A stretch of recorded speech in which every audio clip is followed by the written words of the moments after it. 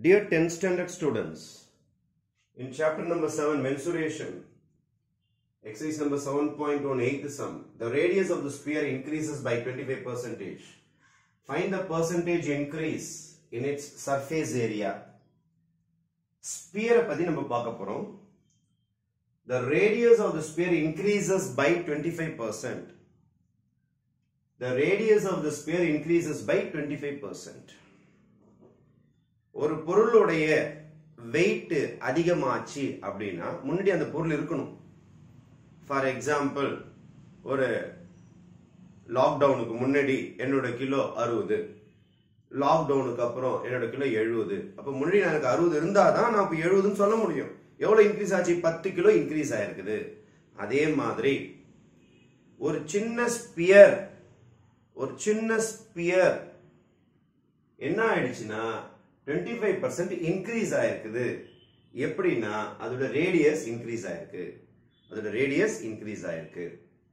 Find the percentage increase in surface area for example இது ஒரு sphere இதுக்கு பேர் தான் ஸ்பியர் இதுல எல்லோ கலர் உங்க கண்ணுக்கு தெரியுது.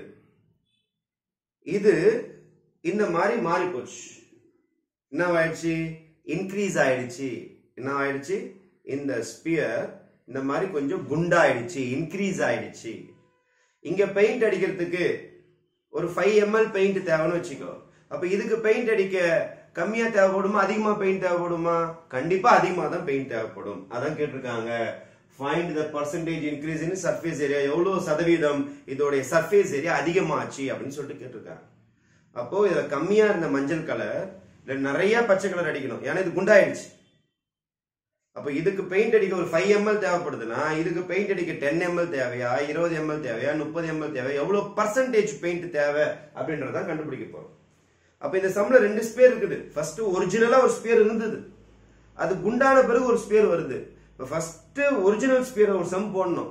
அப்புறம் குண்டான ஸ்பியர் போடணும். அப்பதான் எவ்வளவு பெயிண்ட் தேவைன்னு தெரியும் நமக்கு. இதுக்கு இதுக்கும் எவ்வளவு பெயிண்ட் வித்தியாசமாகும் வந்து கண்டுபிடிச்சாதான் நம்மளால பர்சன்டேஜ் இன்க்ரீஸ் போட முடியும்.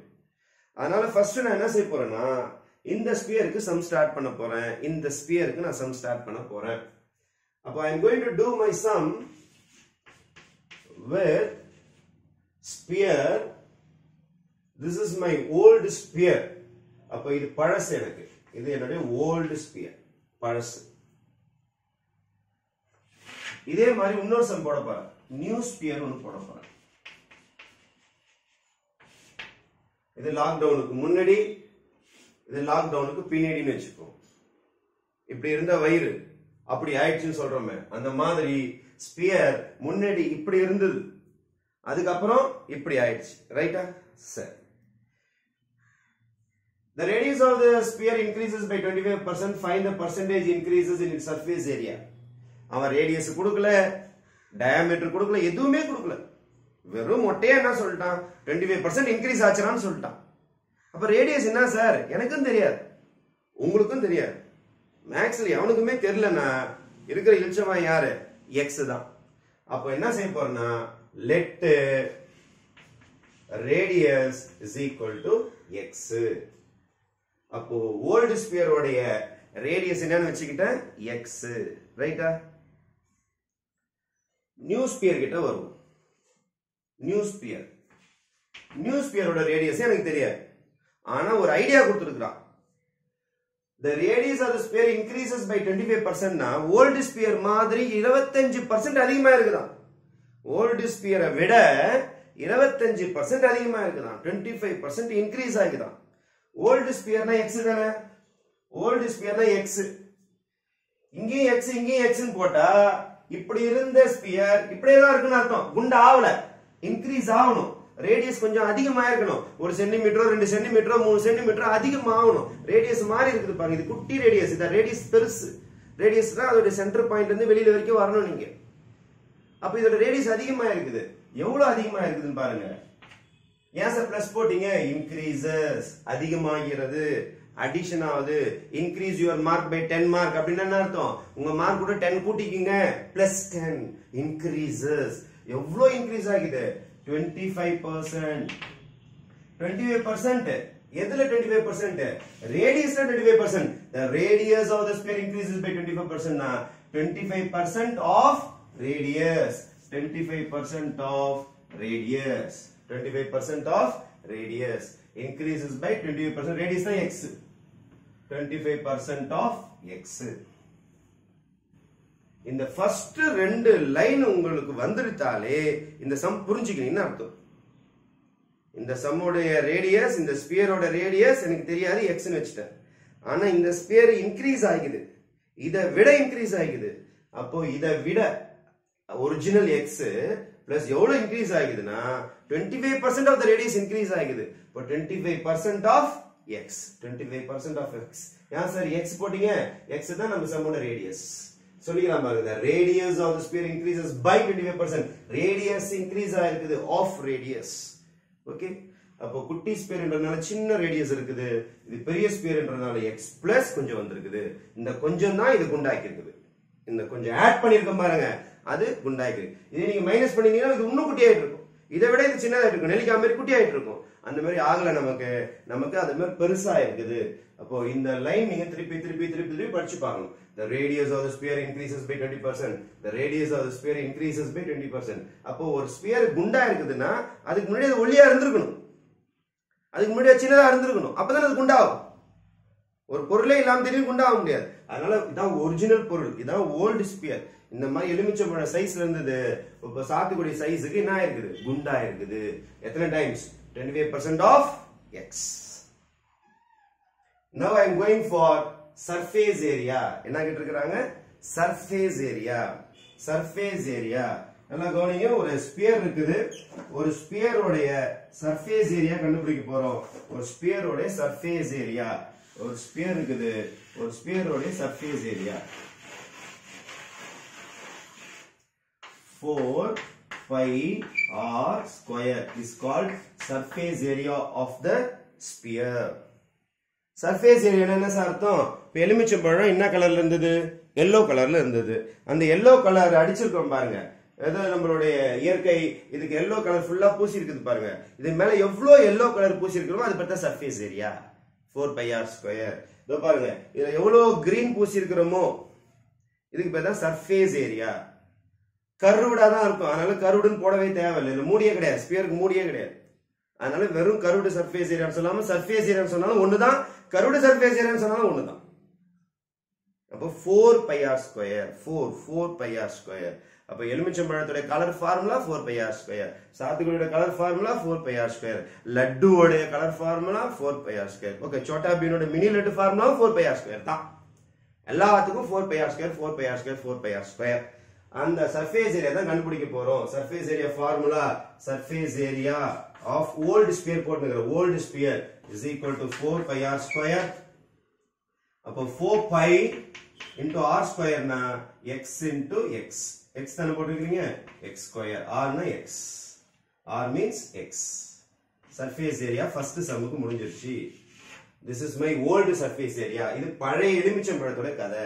இப்போ புது கதைக்கு வருவோம். நியூ ஸ்பியர் இப்போ new sphere is equal to r is equal to twenty five percent of x இது சிம்பிளிஃபை பண்ணாதான் போட முடியும். X twenty five percent six hundred போறேன் பர்சன்டேஜ் எடுக்கணும்னா என்ன செய்வீங்க? பை ஹண்ட்ரட் ஆஃப்னு என்ன பண்ணுவீங்க? Into x twenty five tables cancel பண்ண ஃபோர் டைம்ஸா இப்போ x plus x by four LCM எடுங்க. Four x plus x by four cross multiply பண்ணணும். Four x plus x by four answer is five x by four five x by four this is my radius அப்போ இந்த ரேடியஸ்க்கு இந்த ரேடியஸ்க்கு வித்தியாசம் இருக்கும். இந்த radius குட்டி radius வெறும் எக்ஸ் தான் இருக்கும். இது பெரிய ரேடியஸ் அதனால ஃபைவ் எக்ஸ் பை ஃபோர் இப்போ நான் இதுக்கு சர்ஃபேஸ் ஏரியா கண்டுபிடிக்க போறேன்.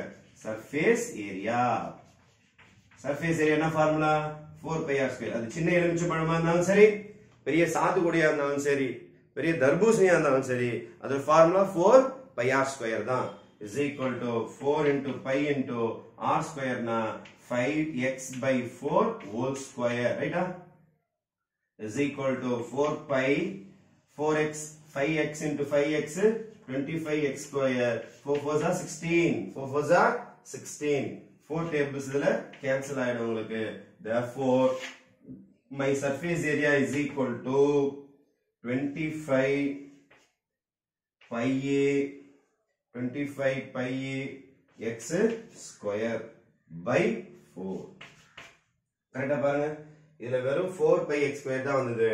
இதுல 25 பை 4 ஏன்னா 4 16 கேன்சல் ஆயிடுச்சு பை எக்ஸ் ஸ்கொயர் இப்போ நம்ம என்னென்ன செஞ்சிருக்கிறோம்னா surface area old old surface ஏரியாவுடைய old surface ஏரியாவுடைய ஓல்டு ஸ்பியரோடைய சர்ஃபேஸ் ஏரியா ஒன்று கண்டுபிடிச்சிருக்கோம். அது பேர் ஓல்டு சர்ஃபேஸ் ஏரியா அதே மாதிரி நியூ ஸ்பியரோடைய சர்ஃபேஸ் ஏரியா கண்டுபிடிச்சிருக்கிறோம். அதுக்கு பேர் நியூ சர்ஃபேஸ் ஏரியா இப்போ நம்ம கையில் ரெண்டு ஆன்சர் வந்திருக்கும். This is called old surface area ஓ போட்டுங்க. This is called new surface area அப்போ ஓல்டு சர்ஃபேஸ் ஏரியானா சின்ன எலுமிச்சம்பழம் மாதிரி. சின்னதாக இருந்தது அதோட கலர் அதனால கம்மியாக இருக்கும் ஆன்சர் நியூ சர்ஃபேஸ் ஏரியா நம்ம சாத்துக்குடி மாதிரி. அப்போ பெருசாக இருக்குது ஆன்சர் அதனால தான் twenty five by four by x ஸ்கொயர்னு வந்திருக்குது. இந்த ரெண்டு சம்மு தான் உங்களுக்கு இதோடைய ஃபைனல் ஆன்சர் போறதுக்கான மெயினான ஸ்டெப்ஸ் இதுல எந்த பிரச்சனையும் இல்லாம நீங்க கரெக்டா போட்டுட்டீங்கன்னா நம்ம கடைசியாக என்ன கண்டுபிடிச்சிடலாம்னா percentage of increase percentage of increase இப்போ சம்ம ரெண்டா பிரிச்சிங்க. ஓல்டு ஸ்பியர்ல வேலையே கிடையாது. நியூ ஸ்பியர்ல தான் அவன் ஏற்றிருக்கிறான் twenty five percent of x அதை கேன்சல் பண்ணி டுவெண்ட்டி ஃபைவ் பர்சன்டேஜ்னா சிக்ஸ்த்து செவன்த்தில் படிச்சிருப்பீங்க. பர்சன்டேஜ்னா பை ஹண்ட்ரட் போடணும். கேன்சல் பண்ணி கிராஸ் மல்டிப்ளை பண்ணும் ஃபோர் இன்டூ எக்ஸ் அதனால தான் four x plus x by four வந்திருக்கும். ஆட் பண்ணி போட்டுட்டு சர்ஃபேஸ் ஏரியா போட்டோம். This is the new surface area this is the new surface area and this is the old surface area இந்த new surface ஏரியாவும் old surface ஏரியாவும் பயன்படுத்தி நம்ம எப்படி பர்சன்டேஜ் ஆஃப் இன்க்ரீஸ் பார்க்க கண்டுபிடிக்கிறது என்றதை பார்க்கலாம். Now we are going to find the percentage increase of its surface area. Percentage increase of its surface area is equal to formula பாருங்க percentage increase of surface area new surface area minus old surface area by old surface area into 100 percentage percentage தானே கேட்டிருக்காங்க new surface area minus old surface area by old surface area into 100 is called percentage increase it is called percentage increase profit percentage loss percentage எல்லாம் போட்டிருப்பீங்க profit percentage is equal to profit by cp into 100 போடுவோம் அதே மாதிரி தான் இதுவும் profit மாதிரி new surface area minus old surface இதான் profit உங்களுக்கு. பை சிபினா நம்மளுடைய காஸ்ட் பிரைஸ் மாதிரி old surface area into hundred அதான் ஃபார்முலா இருக்கு அந்த ஃபார்முலா யூஸ் பண்ண போறோம். What is my old surface area twenty five by four by x square minus old surface area is four by x square divided by old surface area again. 4 pi x square into 100 into 100 percentage cross multiply cross multiply 25 pi x square minus 4 4s are 16 pi x square by though in the 4 all divided by all divided by 4 pi x square 4 pi x square இது by 1 மாதிரி தானே fraction கீழே fraction தான் reciprocal போட்டுக்கலாமா is equal to இங்க ஏதாவது common இருக்கா பாருங்க pi x square very good pi x square common எடுத்துறேன் pi x square இல்ல மைனஸ் கூட பண்ணிக்கலாம் 25 pi x square minus 16 pi x square என்ன வந்துரும் very good 9 pi x square அவ்வளவுதான் 25 apples minus 16 apples is equal to 9 apples. 25 மாம்பழம் minus sixteen மாம்பழம் is equal to nine மாம்பழம் அவ்வளவுதான் twenty five by x square minus sixteen by x square is equal to nine by x square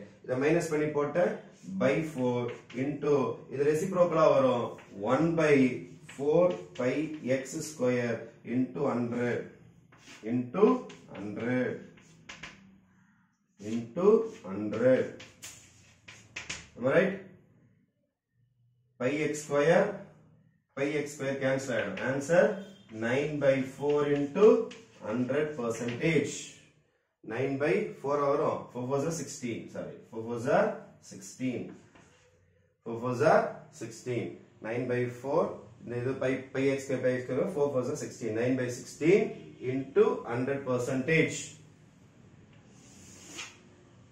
இப்போ nine by sixteen நீங்க இதை nine into hundred அதை multiply பண்ணிட்டு cancel பண்ணலாம். அல்லது ஃபோர் டேபிள்ஸை சிம்பிளிஃபை பண்ணிட்டு கேன்சல் பண்ணலாம்.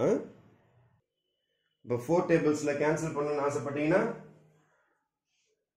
Four டேபிள்ஸில் four two are eight twenty five times இதை ஃபோர் டேபிள்ஸ் கேன்சல் பண்ணால் four nine into twenty five nine into twenty five two hundred and twenty five by four percentage இப்போ two two five divided by 4 5 fours are 20 balance 25 6 fours are 24 balance 1 decimal 0 2 times 8 25 times therefore your answer will be 56.25 percentage will be your final answer எல்லாமே cancel ஆயிட்டு உங்களுக்கு nine into hundred by sixteen வரும் Four டேபிள்ஸில் cancel பண்ணிவிட்டு அதை multiply பண்ணி மறக்காமல் பர்சன்டேஜில் போட்டுட்டிங்கன்னா உங்களுக்கு ஃபைனல் ஆன்சர் கிடைச்சிடும் ஓகே தேங்க்யூ